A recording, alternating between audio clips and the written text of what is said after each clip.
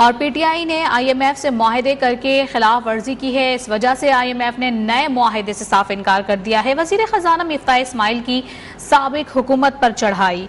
कराची में खिताब में कहा कि आईएमएफ के पास फौरी जाना चाहिए था। जब हुकूमत में आए तो उस वक्त खजाना खाली था।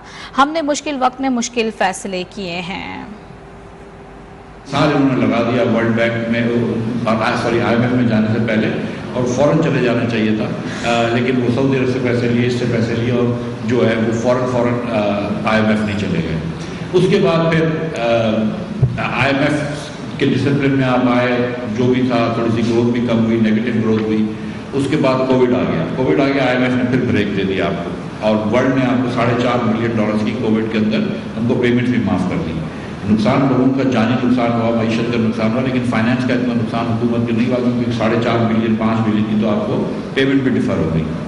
मगर फिर आपने वही किया कि आप ग्रोथ लेकर आए और जब ग्रोथ लेकर आए और पाँच परसेंट के ऊपर ग्रोथ गई तो फिर वापस आ गए। साढ़े सत्रह बिलियन डॉलर्स का पिछले साल करंट अकाउंट डेफिसिट हो गया। जब हम हुकूमत में आए तो दस अशालिया आठ बिलियन डॉलर्स थे या दस अशालिया तीन बिलियन डॉलर्स थे इनफैक्ट और सामने इक्कीस बिलियन डॉलर्स का इस साल कर रबा माली साल में पैसे देने थे।